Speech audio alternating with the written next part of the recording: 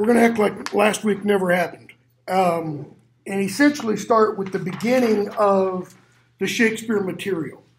Um, I'm not going to talk much about the, the background because um, I don't want us to get too far behind, and, and we can play with the um, schedule. I may just end up dropping Fahrenheit 451. We'll, uh, we'll see later. Um,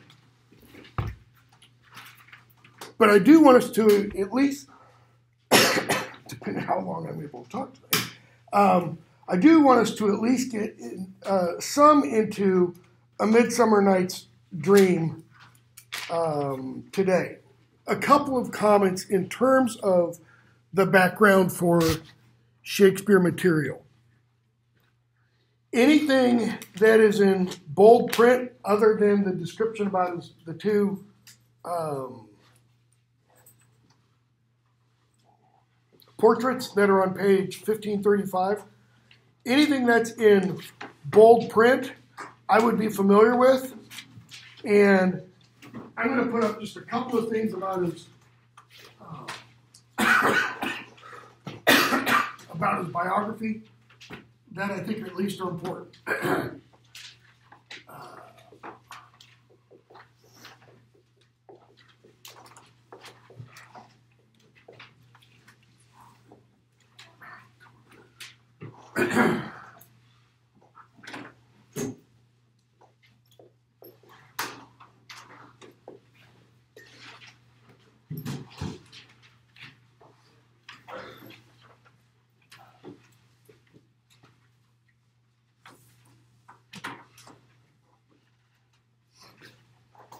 Shakespeare was born, we think, or let me put it this way the traditional date given for his birth is April 23rd. I say the traditional date because we don't know the exact date. Um, we have his baptismal record, which is, if I remember right, about a week later than that. And based upon the tradition or the custom at the time, a child was baptized about a week after birth. So we assume that his date of birth was April 23rd. Okay? Um, 1564, and then he dies on April 23rd 1660. So he dies essentially on his birthday at the age of 52.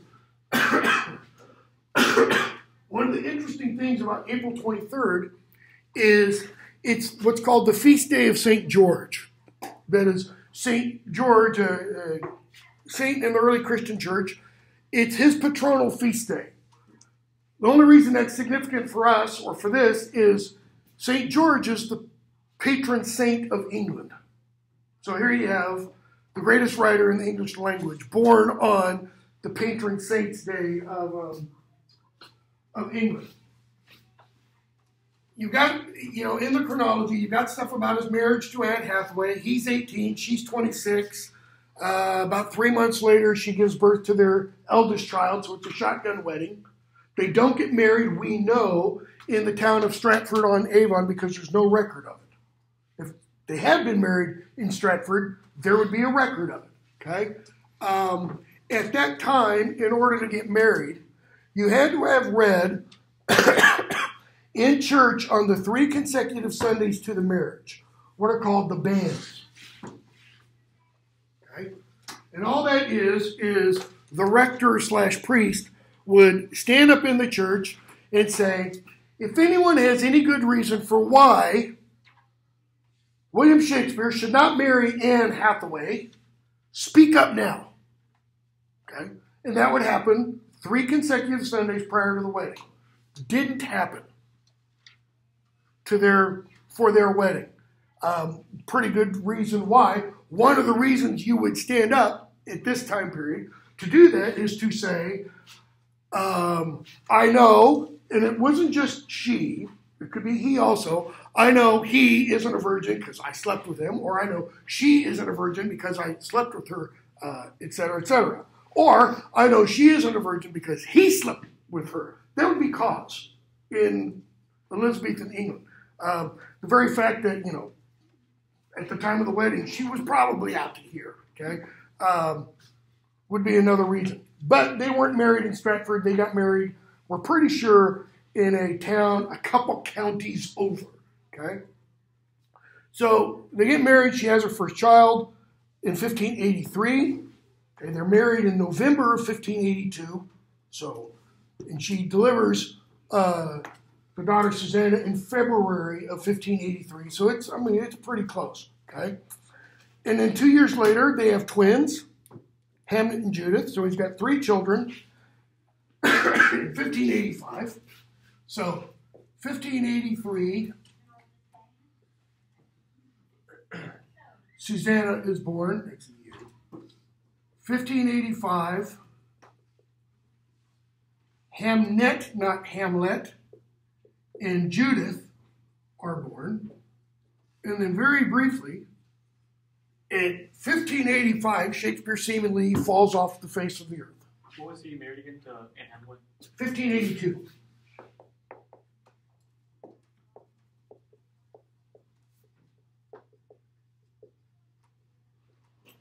He was 18 and she was 26. By the way, to be 26 and not married in the 1580s, that's like being 60 and not married today. I mean, old spinsterish, okay? We don't know why. We don't know if she was deformed, you know, nothing, whatever.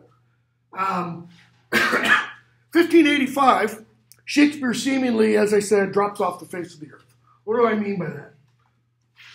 we've got, you know, a little bit of documentary evidence from his birth, at least until this point. That is, we've got records of things happening, like the marriage, the baptism, his baptism, his children's births, etc., etc.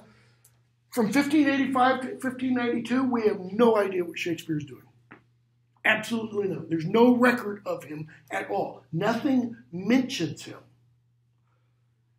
Why is that significant? Because in 1592, when he is first mentioned again, he's already a major playwright. He's already well known in London. He's got people who are griping and grousing because they're jealous of him. Guys who have written lots of books, Shakespeare stole essentially the plot from one of them, from one of his early plays. Okay?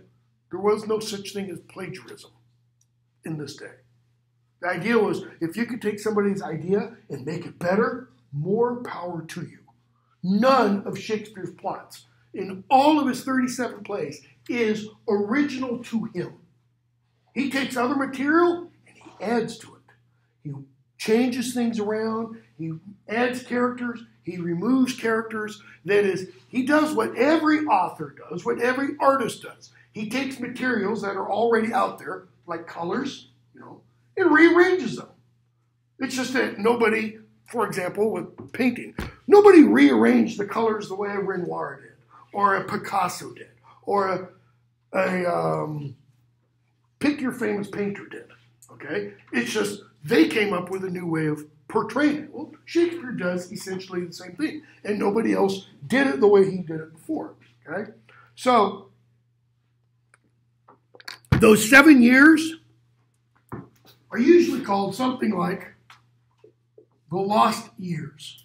and if you could find, if you could prove, prove, like beyond the shadow of a doubt, like courtroom prove, if you could prove what Shakespeare was doing in those days, if, if you were to be rummaging around in some library or in some manor house in England that had a bunch of records from the late 16th century, and you found evidence of what Shakespeare was doing, you would be internationally famous. You'd be on, literally, every major evening newscast because nobody knows for sure. There's all kinds of theories. Some people believed, thought, early, um, uh, not critics, but thinkers kind of said this, that Shakespeare was a schoolmaster. He was a headmaster at a school. would be kind of interesting if he was, because we have no indication that says Shakespeare ever attended university. In fact, what we do believe is the highest he ever attended in terms of schooling would be the equivalent, modern day equivalent in terms of numbering, of like sixth grade, grammar school. Difference is at the end of a sixth grade grammar school education in Shakespeare's day, that would be equivalent to, at the very least, like a high school diploma today. Probably close to a bachelor's degree because of how he would have been taught, which I'll talk about very briefly in a moment. Okay? So, headmaster of the school, traveling actor. Very likely he was doing that, at least towards the later period. Okay? Writing plays. Yeah, probably. Probably working on ideas. Okay? Because again, we know in 1592, when he's first referred to, he's already got three or four plays going on in London at the time. We think the earliest of those plays, Comedy of Errors, probably dates from about 1588, 1589. Okay? But we don't know for sure. All right? What else? Um, then he traveled Europe. He, he did what's called the, you know, in, in modern English, they call it the gap year. When you finish high school and you go off to college, or when you finish college and before you go off to, you know, a real job. That he traveled Europe. Why? One, he's pretty familiar with European customs, and that is French customs, German customs, Italian customs, etc. Two, he had to know French and he had to know Italian because a couple of his sources are only available in French and Italian at the time that he writes his plays. Right? Now, where's Shakespeare from? He's from the little town of Stratford on Avon, which is about 80 miles. If, if this is London here, if you're looking at a map and I'm the map, if this is London here, Stratford on Avon's up here. It's about 30, 40 miles beyond Oxford. So, what does that really mean? Think of the United States. What's the quote unquote cultural capital of the United States? Louder? New York. Probably would be it. Some people would say LA, Hollywood. Eh, New York's got better museums and libraries and stuff, but probably New York. So, what would Stratford on Avon be to New York? Syracuse, maybe? You guys are thinking geographically. I want you to think culturally. It'd be like Woodbury. Okay? Oh, Cannon County Center for the Arts. Woo! right? I mean, Stratford on Avon's Podunkville. It is nothing. Okay? And here's this guy who's from there, who shows up in London, and now his plays are commanding major audiences. The Globe Theater fit about 3,000 people. Excuse me, the theater, as it was called then, fit about 3,000 people. And we're pretty sure, based upon anecdotal evidence, we have diaries written by people who attended Shakespeare's plays. They talk about the plays they've seen, etc. And we have, you know, receipt accounts of the theater. We we pretty much know when Shakespeare's plays were on, it was packed. It was literally standing room only because of how the theater was shaped. Like this, you've got the stage. Around the stage, you have galleries. that is, you have first level, second level, third level. Out here, this is called the pit or the yard. Okay? So you've got three levels of seating here, and then you have this. Well, this holds about 500 people. They pay a penny. These people are called groundlings. Okay? The people who paid a penny to stand here were generally the people who didn't have higher education or any education. And they were paying a penny to kill some time. They would bring food with them, while we know while the plays were, going on, they would relieve themselves right there, drop their shorts, etc. Okay? And if they didn't like the play, what was on the ground, go with what I just said, could get scooped up and thrown at the people on the stage. So you're a playwright and actor.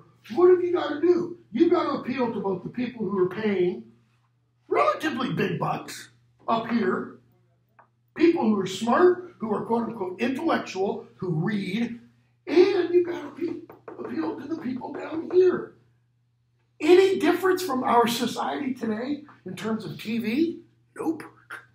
You got to appeal to the highbrow and the lowbrow. Well, Shakespeare had to do the same. But again, from what we know, he backed the place.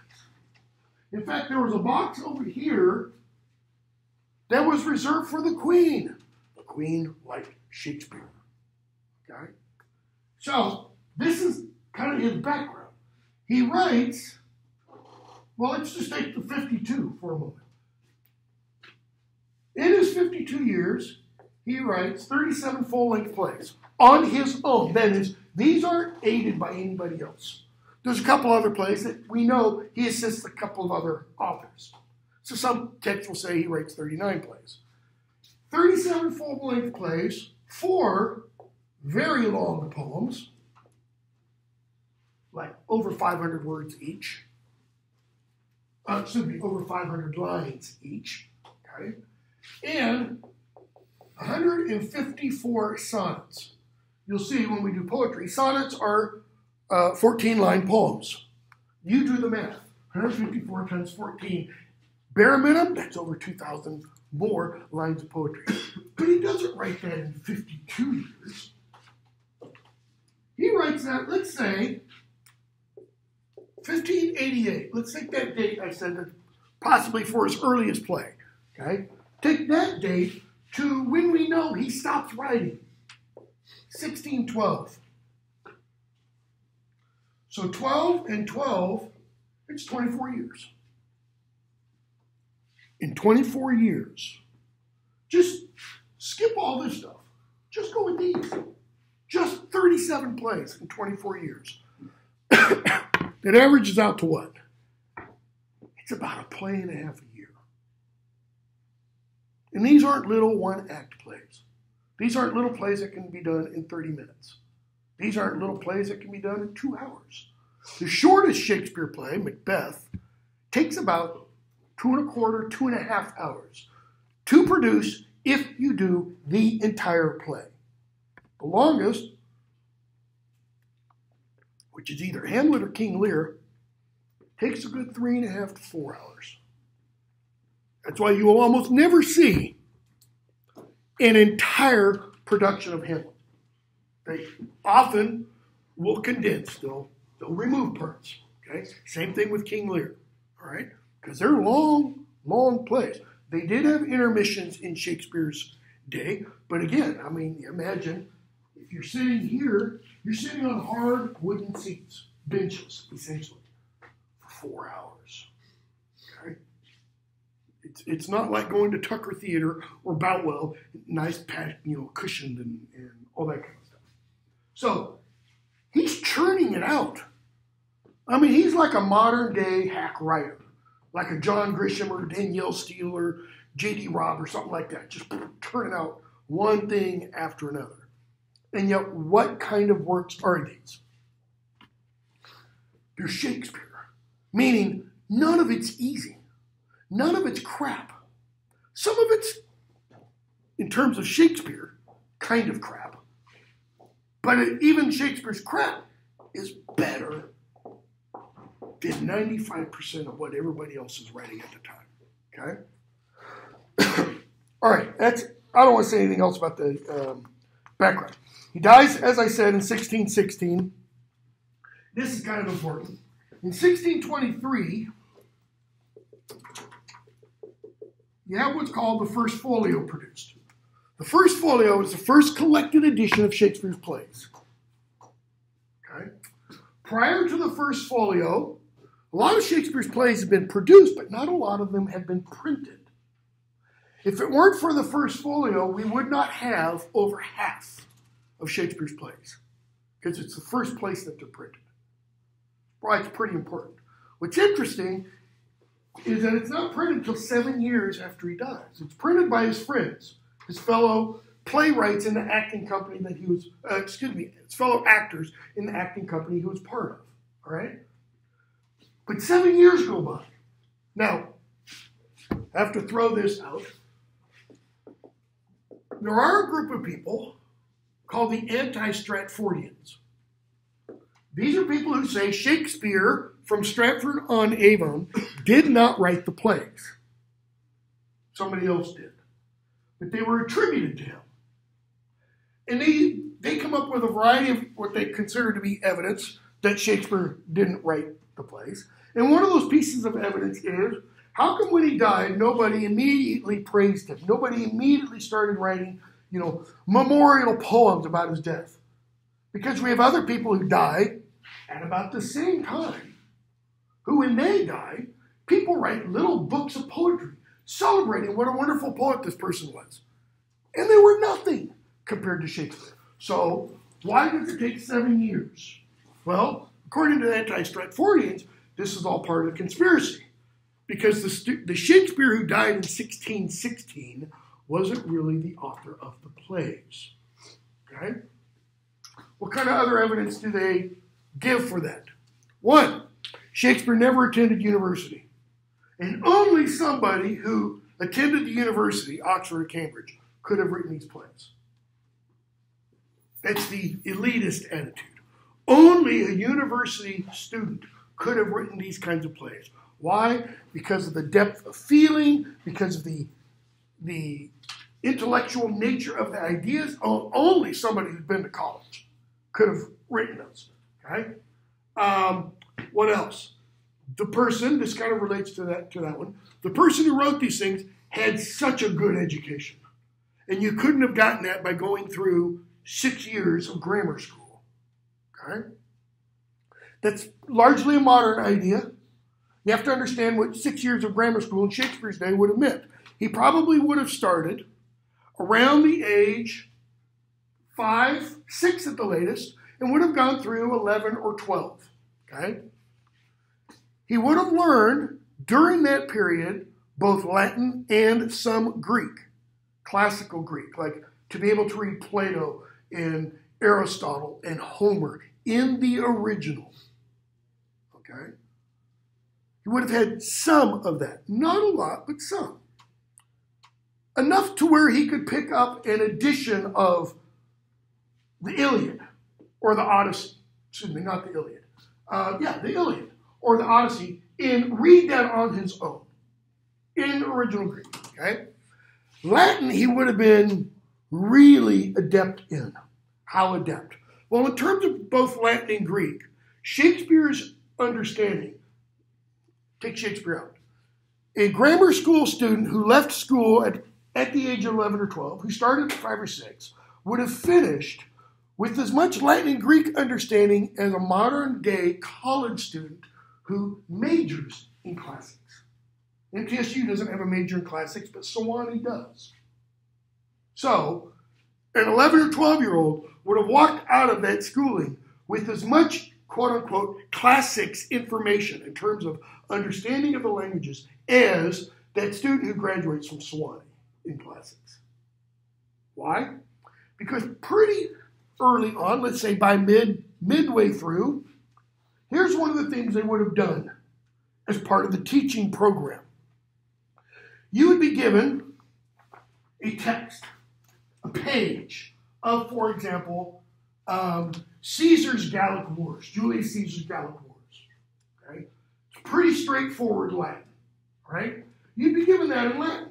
And you'd be asked to take your slate, because that's what they would have written on, put it down next to it, translate Caesar's Latin into your modern English. You'd be given a certain amount of time, so you translate that passage into modern English. Okay?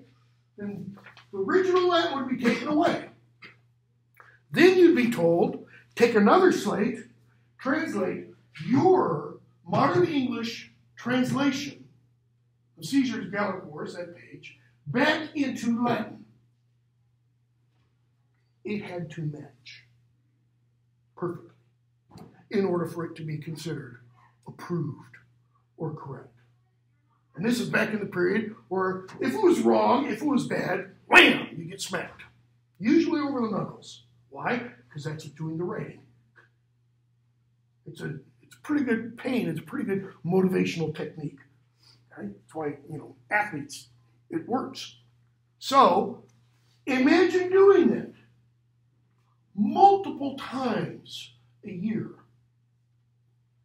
you get to where you can think and dream in that language. That's the kind of background Shakespeare would have had. Okay? what else? What are other reasons? We have no manuscript materials in Shakespeare's handwriting. Almost none. That is, we don't have a copy of any of the poems in Shakespeare's own handwriting. We do have for a lot of other poets of the period, not Shakespeare. Why not? Anti-Stratfordians say, because it wasn't him. Now, usually, these people fall into a couple groups. One of the big ones is, and it's a, it's a group with a bunch of different kind of categories in it. They are related to the person who they want to suggest was the original author. An Earl of Oxford, Francis Bacon, characters like that. If you saw the film Anonymous, that's what this was all about. That Shakespeare wasn't Shakespeare, etc. Okay? The vast majority of Shakespeare scholars say this is a bunch of hooey. This is crazy. It's it's it's not good evidence, it's not good scholarship, it's not good argument. That there are enough reasons to assert the Shakespeare Stratford on Avon is the Shakespeare who wrote the plays. One of those reasons, there's all kinds of what are called Warwickisms, dialectal characteristics. Like I said, you know, Stratford on Avon would be like Woodbury, Woodburyisms in the language. There's terms, phrases, etc., words that are found in Warwickshire, which is where Stratford is, that aren't used in London that are in the plays. That's a pretty good giveaway that probably whoever wrote the plays was using a Warwickshire dialect. Okay? All right. That aside, let's jump into Midsummer Night's Dream. Look, take that back. Not jump into, but let's start A Midsummer Night's Dream. Okay? So again, you got all the different, you know, bold-faced terms, and you have some really, really good. I, I highly recommend you kind of read it and pay attention to it. Page 15, 1544 and 45. A note on reading Shakespeare. Okay? Keep track of the characters, etc. Remember, poetic language deserves to be read slowly, carefully, this is not Old English, by the way. You'll, you'll see newspaper articles, you know, Shakespeare wrote in Old, no, he didn't. Shakespeare wrote in our English. It's just slightly different. Slightly different. It is, when I say our English, he's writing in what is called early modern English, but it's modern English. Old English would be like the, the language of the Old English poem Beowulf. Okay? Which, here's, here's a portion of Old English. This is the Lord's Prayer. Vader ure, thuthe art on heavenum, sith the nama. Our Father who art in heaven, hallowed be thy name. Those two lines. Notice, that's totally different from modern English. Shakespeare's would be, Our Father who art in heaven, hallowed be thy name. The vowels would be slightly different, okay? But it's pretty much our English. One other thing, and I'm not going to talk any more about the other stuff there. If you can, without feeling self conscious, without bothering people around you, when you read Shakespeare or when you read the material by Sophocles, and it, you're going to think I'm totally crazy, try to read it aloud for the simple reason it's meant to be heard. It's meant to, these plays are not meant to be read in silence. These are not what your text called closet dramas. These are meant to be performed. You are meant to see these. Shakespeare, an awful lot of the quote unquote meaning of the play is visual and oral. You have to hear it and see it in order to get it. There's an awful lot, for example, of puns. Puns, plays on language. Shakespeare is an amazingly dirty playwright. There's a there's a lot of risque stuff. Okay? And some directors want to emphasize that more than anything. Why? Because they think, oh, this will get the audience's attention. Well, it's kind of dumbing down by making everything blatant and overt because Shakespeare couldn't make it blatant and overt in his own day. He would have been censored. Censorship in Shakespeare's day was not like censorship in our day, where people say, oh, I don't want to hear that. No, there were actual censors, and you could have things like your tongue cut out. Queen Elizabeth was the number one censor. People wrote things against her. She had tongues cut out. She had hands cut off. Stops them from writing. Okay? So, we don't see that in Midsummer Night's, Midsummer Night's Dream. Midsummer Night's Dream, about 1595, so it's fairly early when you think of, you know, he shows up in London 1592. And the reason you're reading this play, and the reason this play is included in your textbook, is because it's probably the most popular of all of Shakespeare's plays. Hamlet might be better known, but A Midsummer Night's Dream is more popular. You cannot go, for example, to London in the summer, summer defined middle of May, end of August, and not be able to see a Midsummer Night's Dream somewhere. It, it's constantly going on. Okay? Other than the years in England when the playhouses were closed for things like plague or the you know the Puritans and such, uh, there's pretty good evidence that suggests Midsummer Night's Dream has always been produced somewhere. Okay? And it's because it's one of Shakespeare's funniest plays, because of a couple of the characters. So, page 1546 and 47, you get the dramatis personae, that is, the list of characters. Okay? And I'll go over these very, very quickly. You have Theseus, Duke of Athens. Where is Athens? Greece. Okay? Um, Theseus is a quote unquote real character in cultural history. What do I mean by that?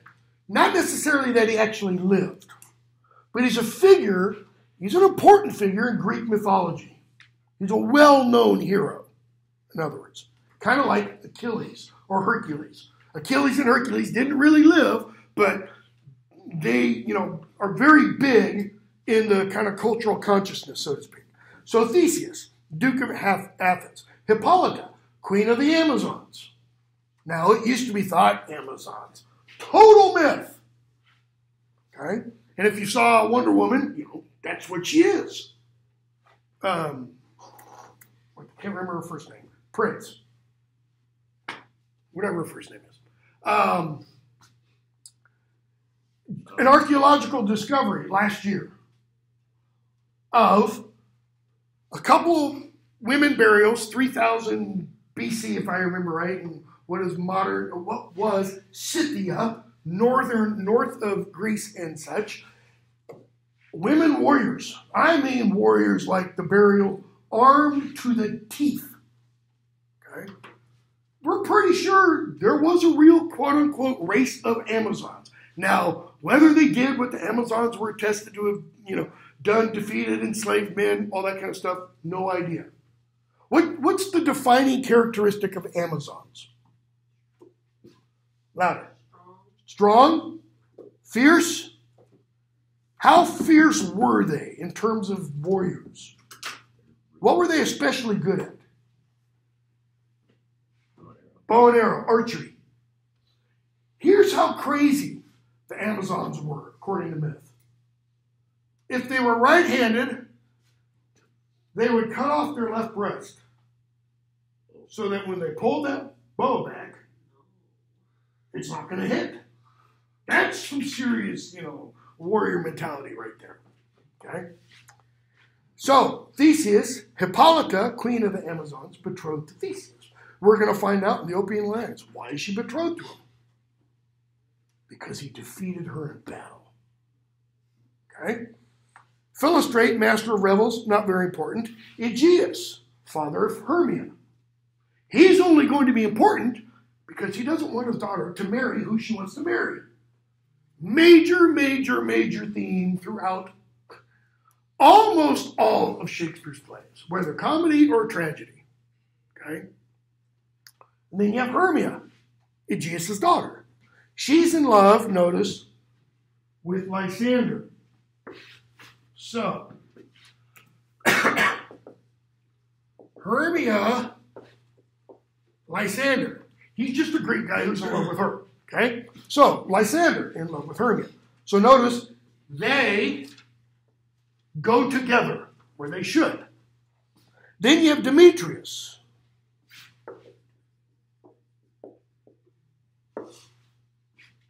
In love with Hermia and favored by Aegeus. So he loves her, but notice she doesn't love him. Okay? Then you have Helena, and she's in love with Demetrius. Notice we're told Demetrius is favored by Aegeus. That means Aegeus wants Demetrius to marry his daughter Hermia. Okay? Then you have Oberon, king of the fairies, Titania, queen of the fairies. And then you have the then you have Puck Robin Goodfellow and a bunch of other little minor fairies. And then we have another group of humans. Okay? So you have the upper class, the Duke, the Queen of the Amazons, and then this aristocracy, Hermia, Demetrius, Helena, Lysander, fairies, and then you have lower class humanity. Okay? Peter Quince, Carpenter, Nick Weaver, Nick, Nick Bottom Weaver, Francis Flute, Bellows Mender, etc., etc. These guys are going to put on a play later on in the play, which is what gives this play 95% of its humor. Okay? So notice from the outset, from what the dramatis personae tells us, where is there going to be conflict? I don't have his name here. I'll put it up now. Aegeus, father of Hermia. Okay? Well, it's going to be here. Because these two are in love with each other. He loves her, he supports him. There's going to be a problem with that relationship. Okay? And we, we're not told in the dramatis personae, but it comes out very early in the play. One of the reasons she's in love with him is because before he fell in love with her, he quote unquote courted her. The play is going to say he made love to Helena. It doesn't mean what we mean by that. It doesn't mean he had sex with her. It means he wooed her. He won her heart. So she falls in love with him. And then the dirty turns around and dumps her for Hermia. Okay? One other point. We're not told anything in the dramatis persona, but it will come out in the course of the play a description about these two characters. Okay? Shut up, Siri. Um, Helena should be tall, lithe, willowy, and probably blonde. Hermia should be relatively short, somewhat dark skinned, definitely dark hair. Okay? Because Hermia is going to express jealousy over Helena's looks. Both her fairness, the whiteness of her skin, and her height. Hermia has a chip on her shoulder about the size of El Capitan about being short. She is a short woman and she doesn't like it. Okay? So, the play opens.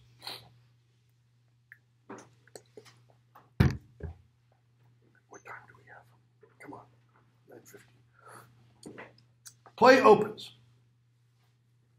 Theseus and Hippolyta come in and they're talking about what is about to happen in a few days. Now, fair Hippolyta, our nuptial hour draws on apace. Four happy days bring in another moon. But oh, methinks how slow this old moon wanes. She lingers my desires like to a step, blah, blah, blah. And she says, yeah, don't worry about it. Four days will quickly steep themselves in night. Okay? Steep. We only use that verb in one way today.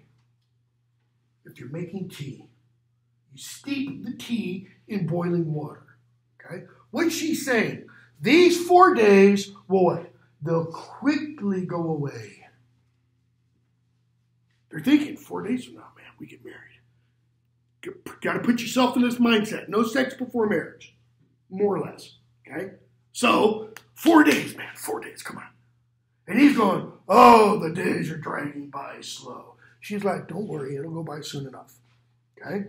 So Theseus tells Philostrate to go stir up the Athenian youth. Why? Because the day we get married, we want to have a party. We want them to put on some, some festive activities for us. Okay? So Aegeus comes in with his daughter. Now, notice what immediately happens. They're talking about their upcoming wedding day, and Theseus comes in to say, My daughter wants to marry him, but I want her to marry him. They're talking about marriage too, only what is Aegeus playing in the marriage, proposed marriage? He's the stumbling block. So, the Duke and Queen, they're talking about, we're getting married, we're looking forward to it, it's going to be a wonderful day. And then somebody else comes in and says, I'm going to stop this other marriage. That immediately kind of, you know, casts a stain on this idea of marriage. Okay? So Aegeus tells his daughter to stand forth. He tells Demetrius to stand forth. And he says, This man, line 25, hath my consent to marry her. Okay? Why is that important? Yeah, because in 2020, for most people, it's not important anymore whether or not the father gives the blessing. Or to many people, it's not. Okay? In ancient Greece, what were women considered to be? Property. Property. Property. She was his to do with as he wished. So he could give her to him, or to him, or to him, or to him, or to whoever he wanted. Yes, Daddy. That's it. Okay? And then he tells Lysander, You stand forth. He says, This man bewitched the bosom of my. Bewitched. He's pulled a false one, a fast one on her. He has done something to her mind so that she's not thinking rationally. Okay? And he says, How he's bewitched her. He's given her things. Okay? And I think Shakespeare is giving us a little clue here into how people, quote unquote, courted in his day. You give letters, you give cards, you give, you know, bouquets of flowers, etc., etc. And he hath turned her obedience, skipping a few lines, go down to 37, which is due to me to stubborn her. She ought to obey me. So, he says, my gracious Duke, if she won't marry here right now before you, that is, agree to marry, not this very moment, I beg the ancient privilege of Athens. and he tells us what that privilege is. If she is mine, I may dispose of her, which shall be here's how I'm going to dispose of her. Either she marries Demetrius or she dies. That's pretty severe, right? Ladies, put yourself in you know her shoes. Dad says, I marry this guy I don't have any feelings for, or I die. Theseus. Okay, Hermia, what do you have to say? Notice Theseus, in saying that, he's kind of giving her an out. He's not saying uh, you can choose door number three, but he is saying, what do you say? He's actually treating her, first of all, like a human, not just a piece of property. Come on, your father should be as a god to you. Demetrius is a worthy gentleman. And she goes, So is Lysander. Yeah, you're right, he is. Except he lacks your father's voice. he doesn't have your father's assent. So he says, therefore the other must be held worthier. I would my father but looked with my eyes. Now that's dangerous language. Why? He's she is calling her father wrong and saying, "Look through my eyes," but my, my point of view. Okay. What else? I mean, yeah, that's true. How does she look at Lysander? Love. She's saying, I wish my father looked at Lysander the way I look at him. I mean, you could go all homosexual stuff there. And a lot of critics do. Do we have any background on why the dad just absolutely hated Lysander? Nope.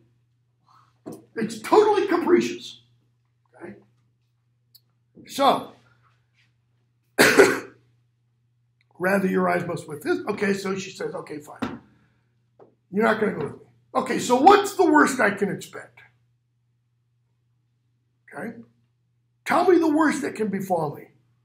Um, and he kind of says to die the death or to abjure forever the society of men. Notice she says, if I don't marry Demetrius, what has he just done? He's changed what Aegeus asks for. Either she marries Demetrius or she dies. He's offered the third door. Either you die or you forever say goodbye to the society of men. That is, you become a nun. Not a Christian nun, because this is pre Christian times. He goes on and says, You go off to the nunnery for those who worship Diana, the goddess of chastity, of virginity. Okay? And you will do what then? Live a barren sister all your life. Chanting, this is 72 and following. Chanting faint hymns to the cold, fruitless moon. Notice these are faint, they're, yay, Diana, princess of chastity, yay. Why are they faint? Because you can't have a full throated, hearty singing in praise of no sex the rest of my life. Thrice blessed they are that undergo such, you know. But no, you're going to die a virgin. She says, okay, yeah, I'll choose that one. Before I yield my virgin patent up to him, I'm not going to give it away to Demetrius. He said, no, no, no, no, you don't have to answer me now. Tell you what, I'll give you four days. So what's the upshot of that? What's happening in four days? They're getting married in four days, he and Hippolyta. What could happen in four days? Theoretically. The very day they're wed, he might have to put her to death.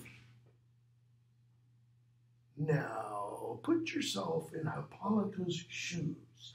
It's the wedding night. You're supposed to consummate your marriage with your husband. You are the queen of the Amazons. Who did the Amazons fight for, if nobody else? Women! And your husband just put to death a poor girl because she wouldn't give it up to some guy she didn't love. You think Theseus is going to get lucky that night?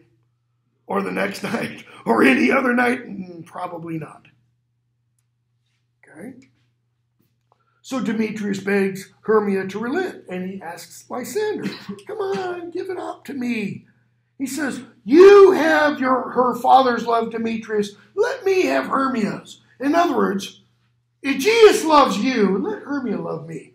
Don't you and Aegeus go over there? Homosexuality was common, it was rampant in ancient Greece. Women were thought sexually necessary for one thing. Obviously, that's what? Kids. Children. You got to reproduce, you know, the people. But homosexual relations between men, that's kind of what was thought to be the highest ideal, according to some thinkers at least. Okay? So, Lysander finally speaks. How does he argue to Theseus? He says, Lord, look at Demetrius and look at me. I am as well derived. That is, I have as good a family background as he does. What it really means is, I have a high family standing. My name goes way back, like Kennedy. Okay? We go way back. What else? I'm as well possessed. I've got loads in the bank. I'm rich. Here's something he doesn't my love is more than his. My fortunes every way is fairly marked. That is, fortune has smiled on me just as equally as it has on him. And what's more, she loves me. That should count for something. So he says, all things being equal, I'm more equal. And then he pulls his ace. Oh, and by the way, he made love to Nedar's, Nedar's daughter, Helena, and won her soul. Well, that's not been introduced before. And Theseus said, Yeah, I heard about that. I meant to talk to him about that. So here's Helena standing off to the side, just looking slobbering after Demetrius. And Lysander says, He loved her first. And now she loves him, and he's turned his back on her. Whereas we loved each other always. Let us marry. Okay? So, the Duke goes off with his soon to be wife, and Aegeus. Okay? And Demetrius, because he says to Demetrius, I, I want to talk to you about this. Okay? And we're left with Lysander and Hermia. Okay? In Lysander and Hermia,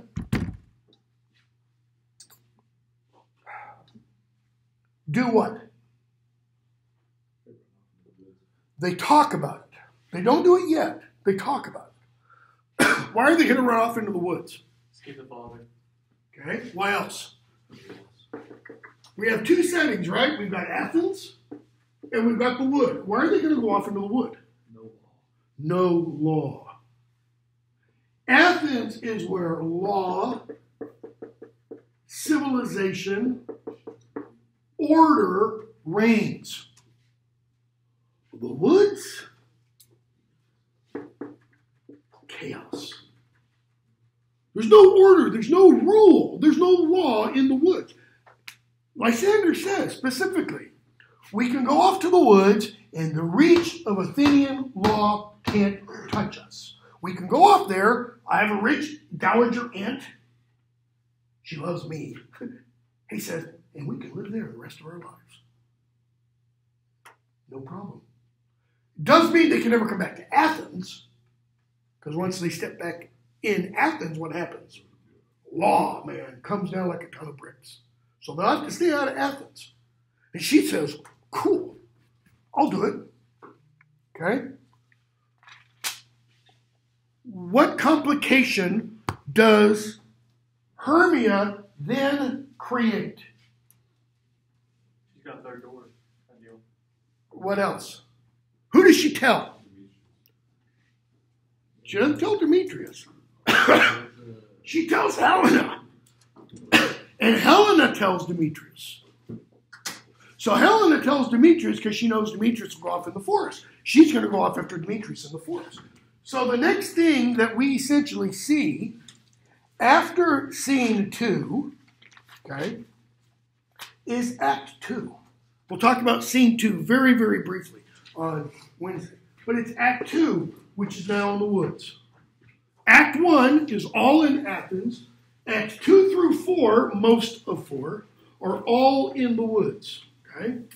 And what, again, characterizes the woods? Chaos. Okay, we'll try to do all of Act 2 and part of Act 3 on Wednesday. Expect a quiz on Wednesday. Let's say over Acts 1 and 2. Major characters, major plot kind of stuff and some of the background stuff that I discussed today. 10 questions, maybe five extra credit.